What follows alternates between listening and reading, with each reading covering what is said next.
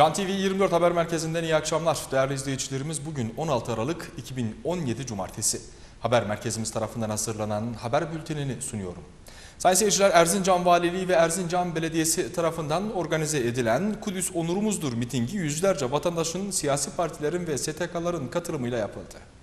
Erzincan Valiliği ve Erzincan Belediyesi işbirliğiyle organize edilen Kudüs Onurumuzdur mitingi yüzlerce vatandaşın, siyasi partilerin ve STK'ların katılımıyla gerçekleştirildi. Erzincan Belediyesi önünde toplanan vatandaşlar tek tek aranarak yürüyüşe dahil edildiler. Yürüyüşte geniş güvenlik önlemleri altında Mehteran ekibinin öncülüğünde Cumhuriyet Meydanı'na kadar yüründü. Yürüyüş esnasında İsrail ve Amerika'ya protesto sloganları atıldı.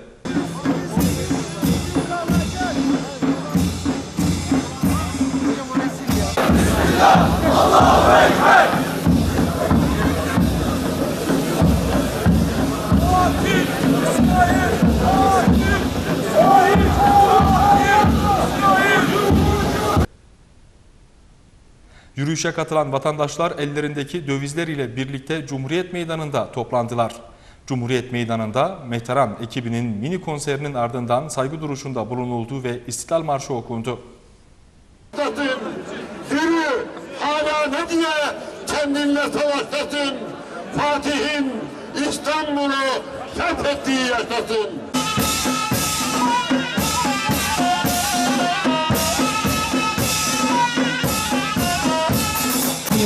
Erdoğan, Tayyip Erdoğan Cennet mekan başkan Tayyip Erdoğan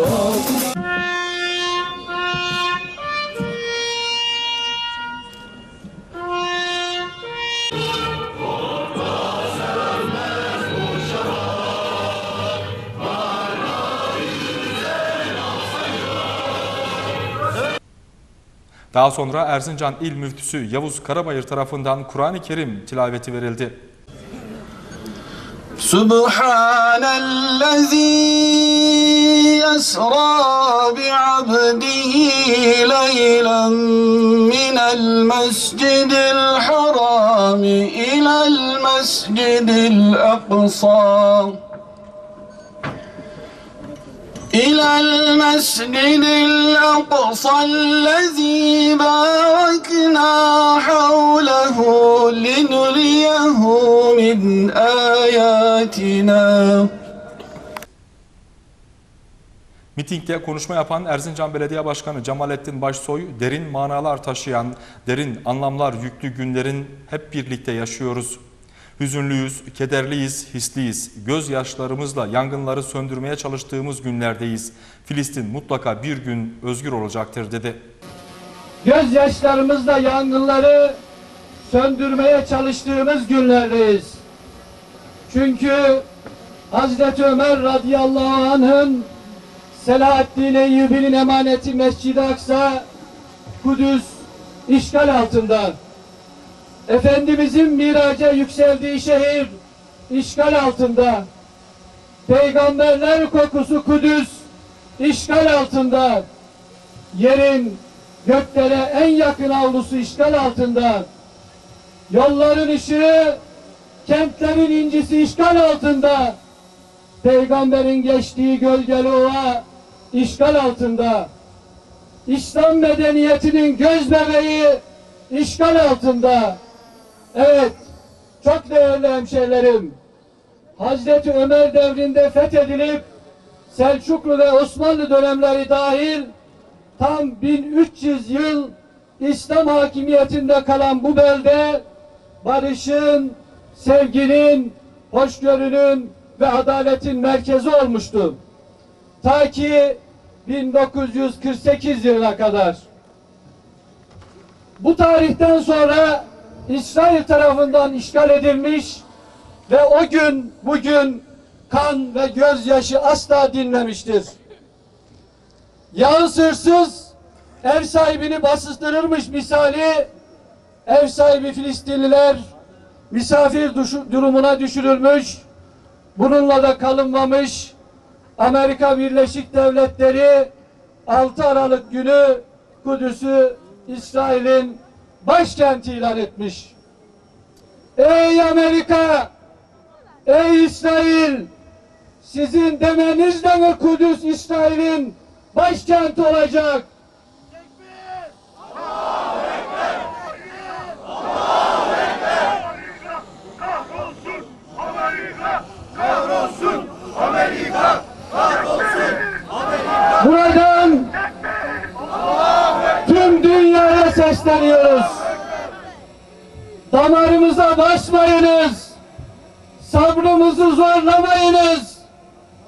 Diyoruz ki ey gafirler bizim Kudüs'te olan gönül bağımızı koparmaya sizin gücünüz yeter mi?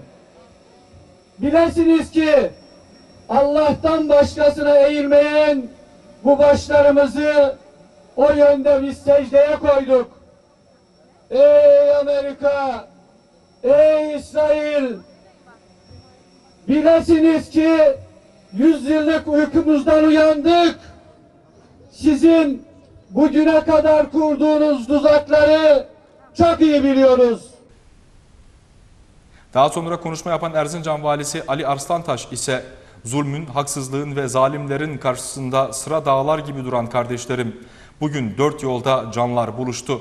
Filistinli kardeşlerimizin yanında saf tuttuğumuzu, Kudüs'ün sadece Filistin için değil bizler için de kutsal olduğunu tüm dünyaya duyurmak için zalimlerin yaptıkları zulümleri haykırmak için bir araya geldik diye konuştu.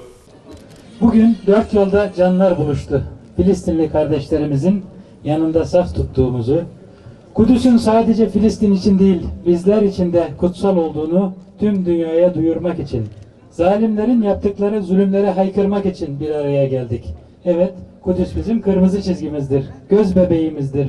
Mescid-i Aksa bizim maneviyatımızın, tüm kutsiyetlerimizin harcıdır. Bu kutsal şehri birilerinin inisiyatifine bırakmak, ben istersem olur diyenlere boyun eğmek bizim gibi tarihi şanla, şerefle dolu olan aziz milletin evlatlarına yakışmaz. Yüz yıl önce küresel güçler bir plan kurgulayıp o kurgu üzerinden dünyayı sömürgeleştirdi. Bütün Asya, Afrika, Orta Avrupa köleleştirildi. Planlar meyve gibidir. İnsanoğlunun sabrı, vicdanı, hafızası da saklama kabıdır. Ne yaparsan yap, yüz yıldan ötesine geçemezsin. Yüz yıllık gelenek, batının değil aslında İslam dünyasının manevi bir keşfidir. Belki de biz de nasıl ki her asır Müslümanları ihya edecek müceddit bekleniyorsa, batı alemi de bu gelenekten kopyalayıp insanların hafızasının maksimum bu kapasitede olduğuna karar vermiş ve böyle planlar yapmıştır. Onlar 100 yıllık plan yapmayı nasıl bizden öğrendilerse gemileri yakmanın ne demek olduğunu da bu süreçte bizden öğrenecekler. Tarık bin Ziyad'ı unutanlar Recep Tayyip Erdoğan'ı hatırlayacaklar. Türk milletinin göçebe kolonisi değil, aslında arı kolonisi olduğunu artık bilmemiz ve çocuklarımıza öğretmemiz lazım. Bizi göçebe olarak aşağılayanlar aslında bize medeniyet kurmamış toplum sıfatını yakıştırma çabasındalar. Oysa bizler arı kolonileriyiz. Gittiğimiz her yere polen taşırız. O polenler medeniyettir, kültürdür, ahlaktır, stratejidir, fedakarlıktır, vatanseverliktir. Bunu yaymanın bedeli savaşsa savaşırız, kansa dökeriz, cansa veririz. Malazgirt şahittir, Varna şahittir, İstanbul'un ihtiyar surları şahittir, Viyana kapıları şahittir, 15 Temmuz Şehitler Köprüsü şahittir. Bilim der ki ne zaman ki arı kolonileri yok olmaya başlar, o zaman dünya yok olmanın eşiğine gelir. Kıyamet yakındır. Ben de diyorum ki ne zaman Türkler arı olmaktan vazgeçerse o zaman dünyada adalet yok olmanın eşiğine gelir. O zaman işgal yakındır. O zaman dünyanın her yeri Kerbela, her bir yeri Suriye, her yeri Irak olacaktır. Tam 100 yıl boyunca durdu bu arı kolonileri. Orta Asya'dan Afrika'ya kadar mazlumların çığlıkları toprağa gömüldü. O toprakta büyüyen çiçekler bu hikayeleri anlatmadı kimseye. Çünkü bu hikayeleri diyardan diyara taşıyacak olan Türkler sindirilmişti. İçeride darbe ve ihanetle uğraşıyorlardı. Şimdi artık o arılar özgür. O arıların ilk kurduğu koloni Elbap'ta. ikinci koloninin sesi Katar'dan geliyor. Üçüncüsü Somali'den. Gezi olaylarıyla başlayan ekonomik saldırılar, Hendek Savaşı ile devam eden fiziksel güç testi, başarısız bir işgalvari darbe girişimi, Elbap operasyonu ve önümüzde son iç kargaşa ile tetiklenmeye çalıştıkları ekonomik savaş. Yani Gezi'nin kaos, kargaşa ve iç savaşı ile güncellenmiş bir üst versiyonu. Mısır'ın firavunları, Suriye'nin vampirleriyle dolu bir Türkiye hayali kuran fasıklar ve karşısında sizler, bizler, Türk milleti. Kürt olan alınmasın, Çerkez olan alınmasın, Laz olan alınmasın. Bu toprağın ekmeği ile büyüyen, bu toprağın suyu ile yıkanan, bu bayrağın aşkıyla yanan her ruh bu coğrafyada Türk ismi ile alınmaktan, asimile olmaktan korkmasın. Bu bir şereftir. Bu şeref Allah'tan bir hediyedir. Bu sözlerimin delilini sorarlar. Soranlar İstanbul'un fethine baksın. Delil arayanlar Malazgirt'e baksın. Delil arayanlar Türkiye'siz kalmış coğrafyalarda inim inim adalet diye inleyen yetimlerin gözyaşlarına baksın. Batı 2025'te uygulamaya planladığı bütün şeytani refleksleri Erdoğan yüzünden tam 10 yıl erken aldı. Recep Tayyip Erdoğan hızlı refleks alabilmek adına 2023 yılına kadar başkanlık sistemini ve yeni anayasayı yürürlüğe koyup 2025 yılına hazır olmak istiyordu. Bunun farkına varan Batı, Doğu Akdeniz üzerindeki planlarını erkene alarak hazırlıksız yakalamak istedi. Erdoğan'ın bu oyuna karşılık cevabı gecikmedi ve hem anayasa hem de başkanlık sistemini erken aldı. Tıpkı 15 Temmuz darbe girişiminde olduğu gibi geceyi beklemeden darbeyi erken vakte almak zorunda kalanlar 2025'i beklemeden Akdeniz kuşatmasında erken almaya başladılar. Ve 15 Temmuz'da Düşmanların piyonlarını yenilgiye uğratan Erdoğan bu sefer ağa babalarını eli boş gönderecek. Her iki saldırıda birbirine çok benziyor. Her ikisi de devletin hamleleri sonucu erkene alınmış birer operasyon ve her ikisi de devletin milletiyle bütünleşip mağlup ettiği ve edeceği birer savaş olarak tarihe geçecek. Ey 15 Temmuz'da şeytanın piyonlarını alt eden kardeşlerim. Bu sefer şeytanı karanlığın kucağına geri göndermeye, yeryüzüne adalete, vicdana ve kalü belada söz verdiğimiz gibi emaneti Allah'a teslim etmeye hazır mısınız? Öl- ölmekten veya ağır imtihanlardan geçmekten sadece mukallit iman sahipleri korkar. Ey tek korkusu son nefeste iman kaygısı olanlar, muhatabım sizlersiniz. Bunun dışında olanlar şimdiden kabayı dışarıdan kapatsınlar. Yeni yüzyılın Orta Doğu'daki gelişmelerini büyük İsrail hayali olmaksızın okumak bulmacayı hep eksik kılacaktır.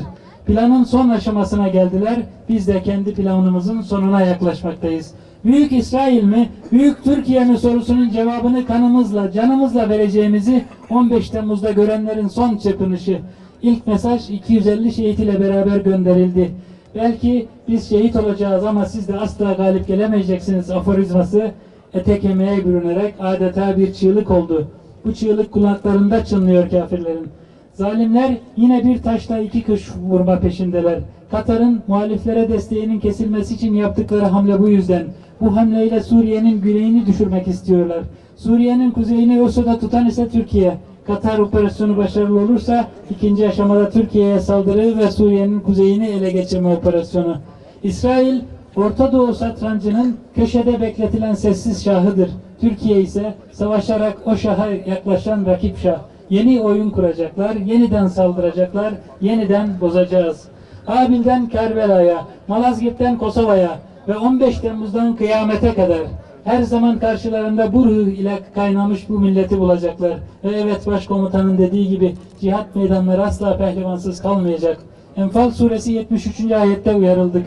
Küfür içinde bulunanlar da birbirlerinin velileri, yardımcıları, destekçileridir. Eğer siz aynı şekilde birbirinize arka çıkmaz ve destek olmazsınız, olmazsanız yeryüzünün de ne getirip götüreceğini kestiremeyeceğiniz bir fitne, kargaşa ve çok büyük bir bozgunculuk patlak verir. Kıymetli hemşerilerim, işte bu yüzden Kudüs'ü, Mescid-i Aksa'yı savunuyor- savunuyoruz. Çünkü Kudüs asırlarca ecdadımız tarafından yönetilirken bütün dinlerin mensupları özgürce ibadetlerini yaptılar. Din, dil, ırk ayrımı yapmadan kardeşlik hukukunu korudular.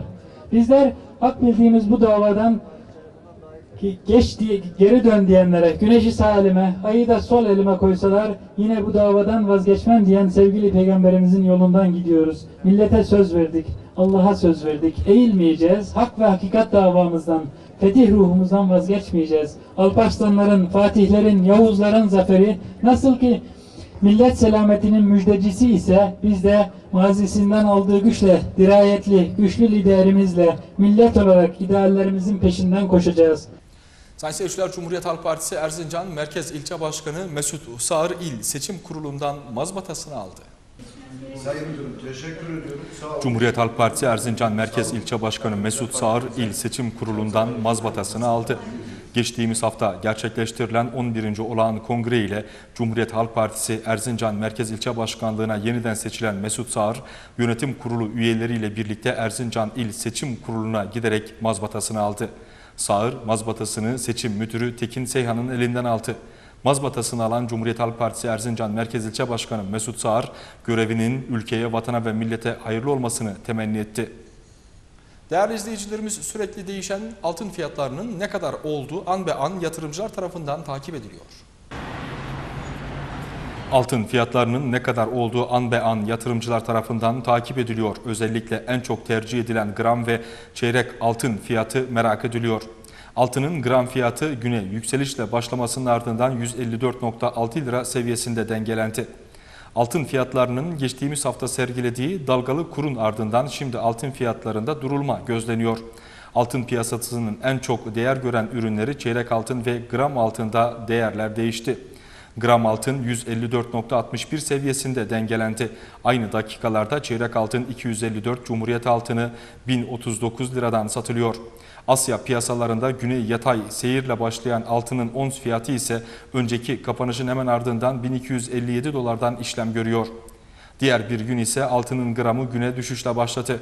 Gram altın 153.5, çeyrek altın 252, Cumhuriyet altını 1027 liradan işlem görüyor. Altının gram fiyatı güne düşüşle başlamasının ardından 153.5 lira seviyesinde dengelendi. Anagolt 24 Erzincan Spor'un teknik direktörü Tuğrul Metin ilk yarının son maçı olan Gölcük Spor maçı öncesinde takımın durumunu değerlendirdi. Anagolt 24 Erzincan Spor'un teknik direktörü Tuğrul Metin ilk yarının son maçı olan Gölcük Spor maçı öncesi takımın durumunu değerlendirdi. Metin eksiklerimiz var fakat sahaya 11 kişi çıkacağız en iyi sonucu alacağız dedi. Şimdi sakatımız var. Hakan sakat. Erman sakat. Kesin oynamayacaklar. Bilal'le Aybars da cezalı. Dört tane oyuncumuz eee, bu şekilde yok. Fakat 11 kişi çıkacağız sahaya. Eldeki kadroda eee, kaliteli oyuncularımız var. Oynamayanın yerine oynayacak olan da zaten onlar eee, gösterdiği performans kadar göstereceklerdir. Son maçın önemini herkes biliyor. Hepimiz biliyoruz. Bizim için ne kadar önemli. Erzincan için ne kadar önemli. Ee, Ben şöyle düşünüyorum geldiğimiz günden beri 34. hafta lider olalım. Onun dışında çok da sıkıntı değil. Tabii elbette hep playoff'un içinde olalım. Hep lidere yakın olalım. Gerekiyorsa 30 yani lig başlasın ikinci yarı sonuna kadar lider olalım. Tabii en güzeli o yani 17. hafta biter sezon başlar. ikinci yarı biz sezonu lider başlarız, lider bitiririz. O en güzeli yüreğin istediği o. İnşallah onun için de tüm çabayı sarf edeceğiz. Herkes onun için çalışıyor. Bilincinde yani. Hocam hafta sonu nasıl bir taktikle sahaya çıkacaksınız? Gölcük, Göl, Gölcük Spor e, biraz hücum ağırlıklı çalıştıkları için. Ben şimdi izlettim onları da. Ee, antrenmanlarını da izlettik. Son maçlarını da izlettik. Onlarda da e, iki tane cezalı sakat var. Bir iki tane. Ee, şimdi buraya e, görüyorsunuz kapanmaya geliyor çoğu takım.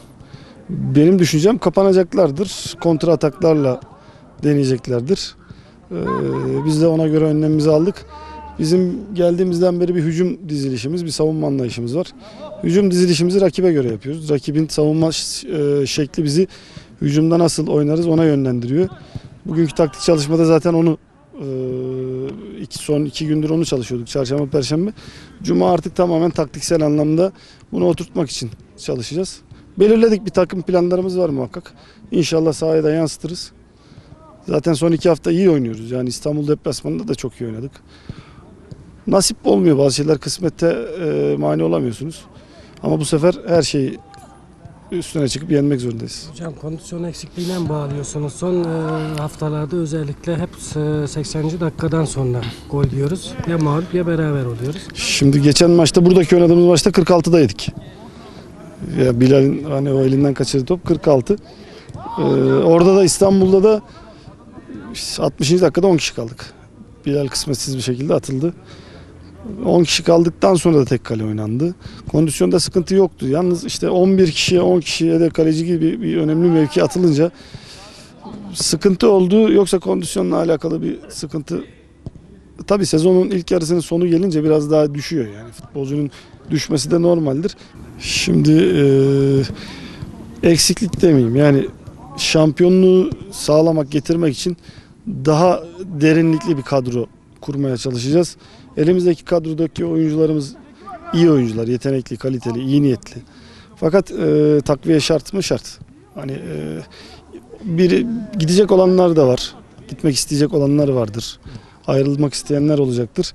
Biz takviyelerle her mevkiyi alternatifli hale getirebilirsek e, daha başarılı, daha derin bir kadro. Biri olmadığı zaman daha rahat böyle e, oynatabileceğiniz bir kadro olur. O yüzden eksik değil. Sadece takviyelerle güçlendirme diyelim. Ama gidecek olanlar var muhakkak. Gelecek olanlar da var.